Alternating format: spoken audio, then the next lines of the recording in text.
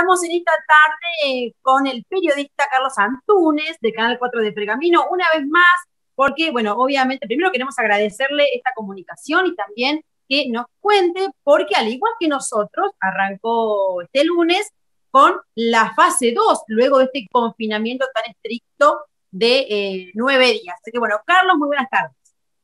Gracias a vos, en realidad, por, por tenerme en cuenta, por comunicarte aquí con Canal 4. Eh, es excelente la posibilidad de que los medios de la región podamos intercambiar información, intercambiar datos este, y bueno, y mantenernos en contacto. Así que el agradecido soy yo. Y bueno, aquí estamos, eh, volviendo, como decías recién, a cierta normalidad dentro de la fase 2, pero en comparación con lo que vivimos la semana pasada, eh, es muy clara la diferencia. Totalmente, totalmente. Bueno, contame cómo empezó eh, esta flexibilización, esta fase 2 en eh, Pergamino. Digo, la gente eh, salió a la calle, se lo tomó relajadamente y arrancó y empezó a hacer sus actividades. ¿Cuáles son las cosas que tienen permitidas? Bien, esto, esto es así, o sea, durante la, lo que fue el confinamiento, hubo algunos idas y vueltas, algunas idas y vueltas con el tema de los decretos. ¿Por qué? Porque la municipalidad de Pergamino dio a conocer una serie de, flyers en, los que decía que los comercios de proximidad, o sea, lo que es eh, comercios esenciales, almacenes, este, panaderías, pollerías, carnicerías, farmacias, podían estar abiertos sin restricción horaria, pero no solamente este, con, permiso, digamos, o, aquellos que tuvieran una característica particular, no, no, sin restricción horaria. Eh, pero a su vez eso generó una dicotomía. ¿Por qué? Porque mientras el decreto presidencial decía que a las 18 no se podía circular si no eras trabajador esencial, y por el otro lado la municipalidad permitía tener abiertos los comercios, bien, vos permitís tener abiertos los comercios, pero ¿cómo hago yo para ir hasta el comercio si no puedo salir de casa en teoría? Así que hubo una ida y vuelta. Al final, según explicaron desde la municipalidad, señalaron que si uno iba a buscar alimentos, por ejemplo, a las 9 de la noche y la panadería estaba abierta, no había ningún problema, lo cual generó cierta flexibilización en el confinamiento estricto. Ahora se vuelve a fase 2. Vos recordás que tuvimos acá en Pergamino una caída acelerada de, la, de las restricciones. Empezamos el lunes eh, pasado, no, el anterior, empezamos con fase 3. El martes nos enteramos que pasábamos a fase 2, que se efectivizó finalmente a las 0 del jueves. Y estuvimos solamente jueves y viernes en fase 2 y el sábado arrancó el confinamiento estricto. Entonces recién ahora volvemos a fase 2 y la gente eh, es como que había postergado unas cuantas cosas y te puedo asegurar que a esta hora en el centro de la ciudad no hay lugar para estacionar, hay colas de hasta 10, 12 metros en algunos comercios porque los comercios eh, atienden de a una persona y eso lo respetan a rajatabla. Este, y hay mucha, mucha gente en la calle. Se ve como que eh, han querido recuperar el tiempo perdido, entonces se ve mucha gente en la calle. Bueno, impresionante, sobre todo me sorprende esto que acabas de comentar, ¿no? De que ustedes sí tuvieron los comercios, a pesar del confinamiento más estricto que fue en la semana anterior, los comercios hasta eh, por fuera, digamos, de las 18 horas. Eh, bueno, a, a, diferencia nuestra, digo, nosotros sí era hasta las 18. Lo que dijeron acá en la municipalidad es que el decreto presidencial es ambiguo y dejaba muchas muchas cuestiones abiertas, o sea, muchas cuestiones sin resolver. Porque, por ejemplo, te decía que los comercios gastronómicos podían estar abiertos bajo la modalidad takeaway, que es un anglicismo para definir qué es comida para llevar, o sea, básicamente eso. Podían estar abiertos hasta las 23, pero si, si yo a las 6 de la, de la tarde tengo que quedarme en casa, ¿cómo hago para ir a buscar la comida para llevar al comercio?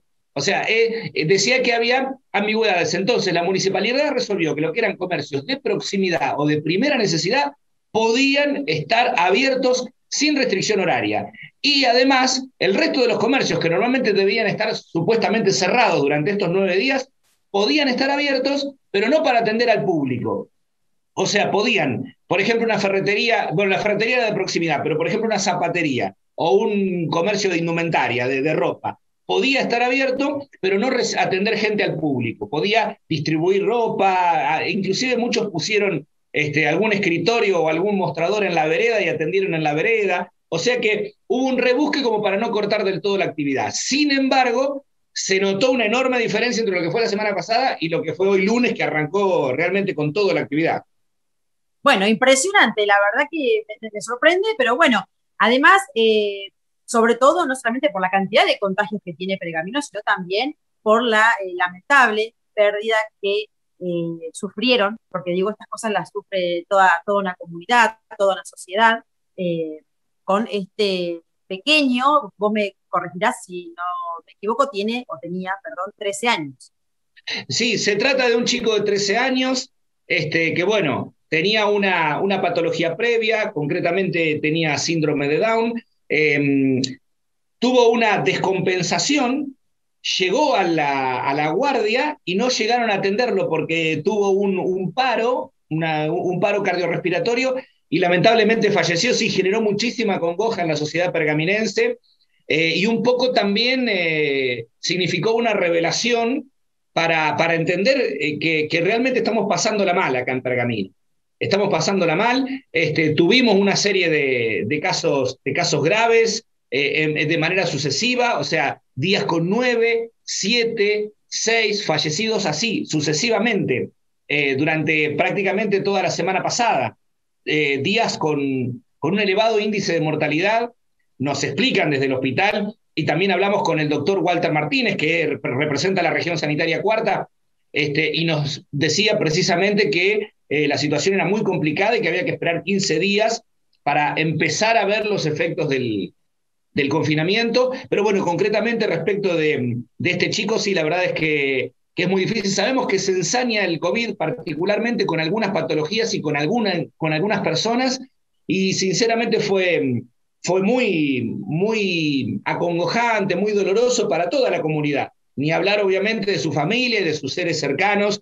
Se trataba de un, de un chico que, que participaba activamente en una, en una escuela, en una, en una, una comunidad, en una, en una agrupación, este, tenía, tenía relaciones sociales, era, tenía una vida eh, muy activa y lamentablemente eh, pasó a engrosar la lista de los más de 280 fallecidos que tenemos hoy en día acá en Pergamino, producto de COVID-19.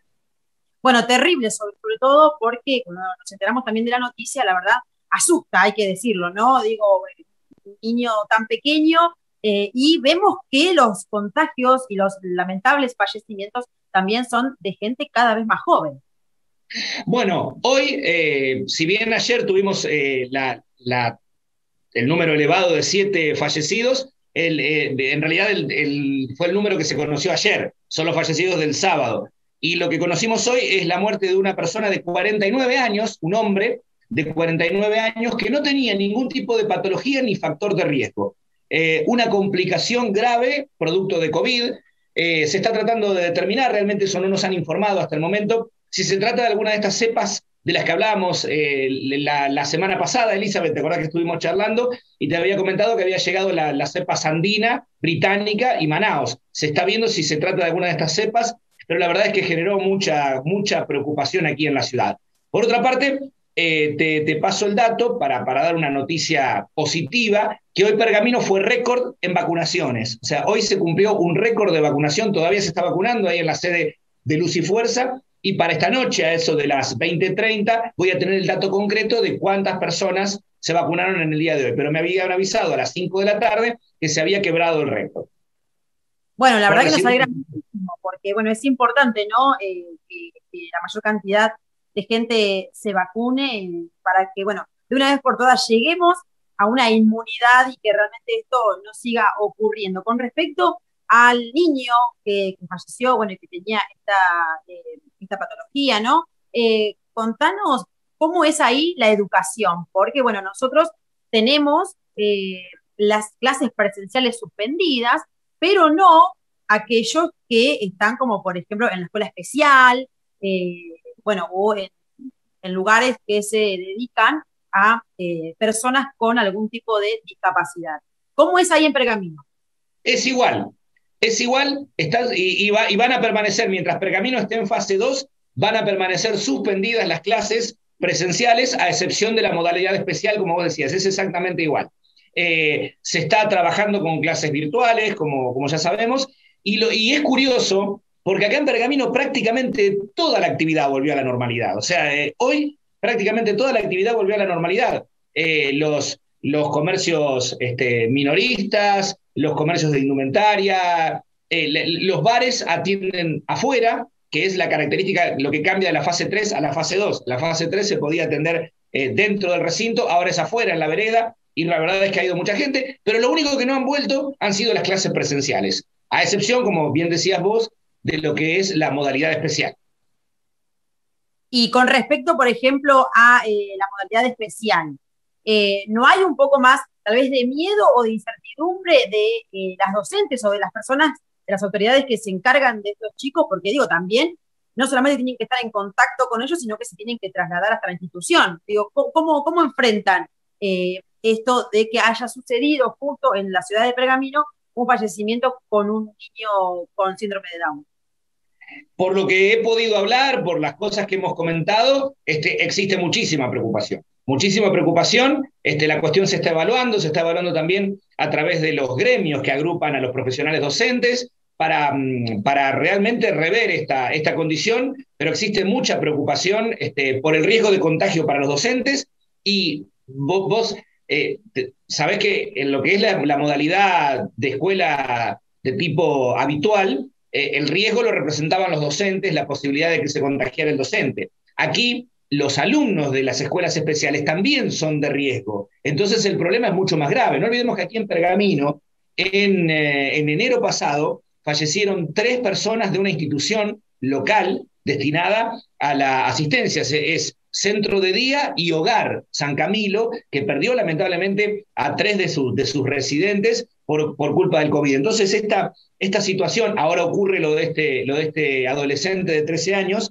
esta mm, situación ha generado mucha preocupación en los directivos, en los docentes y también en los padres, porque dudan, dicen, eh, mando a mi hijo al colegio y lo, expongo a la posibilidad de un contagio que quizás le, resulte en consecuencias muy graves. Entonces, están evaluando qué decisión tomar. Pero además, eh, existe la cuestión de que, bueno, de que, de que está el tema fáctico, o sea, tenemos muy presente lo que ha pasado.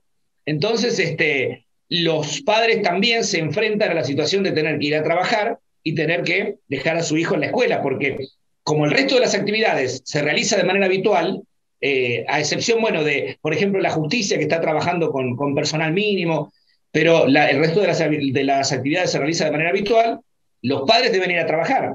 Entonces se ven en esa disyuntiva, mando a mi hijo y lo, expongo a un contagio, este, o, lo dejo en casa y, cómo hago para dejarlo en casa. Entonces está ese, tema. Es, una, es muy buena la pregunta porque es una de las principales preocupaciones de la sociedad pergaminense. Sí, además, eh, como que se suma también a otras contradicciones. No sé ustedes cómo están trabajando con respecto a eh, los gastronómicos. Vos hablabas de los negocios que pueden tener las mesas afuera, que es lo que permite la fase 2. ¿Hasta cuántas personas pueden estar en una mesa? Y eso, no, lo de las personas en una mesa solamente burbujas. O sea, tienen que llegar juntos este, y son hasta cuatro personas de una burbuja en una mesa. Pero no, no hay límite de mesas porque eh, hay un proyecto de ordenanza que se va a tratar en, la próxima sesión para poder extender, o sea, para poder poner más mesas en la calle. Pero el tema es que a veces cuesta porque existe una, una hay como decías bien vos, un cono de sombra entre la, la separación mínima es adentro o es afuera. Porque si es afuera, se pueden poner muchas menos mesas también. Entonces está esa duda, algunos tratan de meter toda la cantidad de mesas que puedan, otros son, son más cuidadosos, pero todos se están, protestando porque lo que dice la mayoría de la gente es que los comercios, no, los comercios gastronómicos y los comercios en general no, no se produce la mayoría de los contagios. Los contagios se producen en reuniones familiares y sociales. Eh, está prácticamente establecido. Pero entonces, este, ante, ante la posibilidad de abrir, obviamente el comerciante, teniendo en cuenta, Elizabeth, que viene de un año eh, eh, espantoso y que, y que tuvo un poco de aire en enero, un poco de aire en febrero, y después ya empezó a tener restricciones, problemas, eh, va a querer abrir, va a querer abrir tomando, somos conscientes acá y, y, en esto quiero, quisiera hacer hincapié particularmente, eh, que se ha hecho un esfuerzo muy grande, eh, los comercios hacen un esfuerzo muy grande este, para cumplir con el protocolo y son los que se exponen, que es lo que estuvimos diciendo durante toda la semana pasada. ¿Qué ocurre? El comercio tiene este, una, una, una razón social, tiene una inscripción, tiene un, espacio físico donde los inspectores pueden pasar, verificar el cumplimiento y si no cumple pueden multar. Y el, comercio, y el comerciante se expone a eso y tenés en un barrio, como nos llamó un televidente, tenés en un barrio una fiesta con 10, 12 personas, o no una fiesta, una reunión social. Entonces, ahí se produce una gran cantidad de contagios. Entonces, se perjudica Pergamino, se perjudica a la gente que se contagia y se perjudica el comerciante, que no puede abrir aunque cumpla los protocolos y que si abre lo multan. Entonces, deviene, termina siendo algo injusto y absolutamente perjudicial. Entonces, es un problema. Absolutamente, nos pasa como que terminamos metiéndonos en cosas que eh, son contradictorias, porque, por ejemplo, también pensamos que, no sé ustedes, pero nosotros, por ejemplo, no, no, se puede hacer eh, reuniones, como decías vos recién, familiares eh, o sociales eh, en, lugares cerrados, ¿no? pero si no las pueden hacer en, en, lugares cerrados, tal vez en sus casas o en otro lugar, no puede haber reuniones familiares, pero sí pueden ir cuatro personas, en nuestro caso son seis, a los lugares a comer algo eh, y también se entiende esto de la solidaridad, por decirlo de alguna forma, con los comerciantes que también necesitan trabajar. O sea, eh, la verdad que es bastante contradictorio todo. E, es absolutamente contradictorio este, y, no, no se trata de una cuestión de ir contra la normativa o de negar lo que ocurre, porque negar lo que ocurre ya sería realmente eh, delirante, porque estamos acá con, una realidad que, nos, golpea en la cara todos los días. Lo que sí ocurre es que ante esta circunstancia, ante, esa, ante esta coyuntura, em, tenemos que tener presentes las medidas que hay que tomar y cómo hay que tomarlas eh, para, no, para evitar perjudicar a la gente. Esto que vos decías, mira, eh, en, las plazas de acá de Pergamino y sobre todo en, el, en la vera del arroyo, que no es tan lindo como el balneario que tienen ustedes allá en Salto, pero bueno, es lo que tenemos acá y es lo que la gente aprovecha para disfrutar en los eh, días del estudiante o así. Bueno, eso estuvo lleno, porque para colmo, el clima fue muy agradable todos los días de la semana pasada, hubo dos días feriados, lunes y martes, la gente fue a esos lugares y entonces vos decís, se complica la atención al público en los comercios, pero las reuniones las tenés igual, porque es muy difícil controlar todo eso. Eh, entonces, eh, como, decimos, tanto, tanto la, línea sucesiva ¿no? de, gobernantes, hasta el propio intendente acá ha hecho mucho hincapié en el tema de la conciencia, de la responsabilidad y, como vos decías, de la solidaridad entre nosotros. Y resulta que, bueno, si, eh, porque para colmo, ¿qué pasa? Si hay reuniones, se, se, multiplican los contagios, o sea, se incrementan los contagios. Si se incrementan los contagios, hay que aumentar las restricciones. Y si aumentan las restricciones, seguís complicando al comerciante, al gastronómico y al trabajador en general. Por eso es tan importante que nos cuidemos. Exactamente, siempre se, apela siempre a lo mismo, ¿no? A la responsabilidad y a la solidaridad de cada uno de, la sociedad, de todos, de cada uno desde nosotros hasta el último.